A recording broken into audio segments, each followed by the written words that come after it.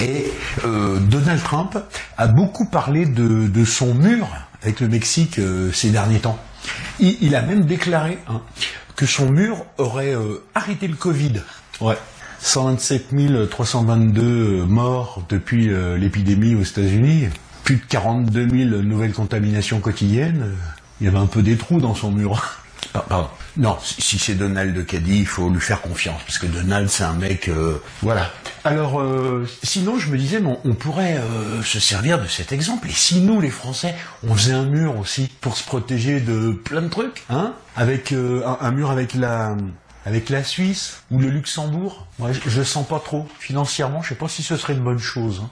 Non, c'est vraiment une mauvaise idée. hein. Si jamais on s'embrouille avec euh, le Luxembourg ou la Suisse, euh, ça risque de mal tourner. Ils vont nous envoyer leurs marines, leurs bateaux. euh, ça va déclarer une guerre pas possible. Non. Et si on faisait un mur avec la Belgique? Ah non, moi je les aime bien les Belges, merde.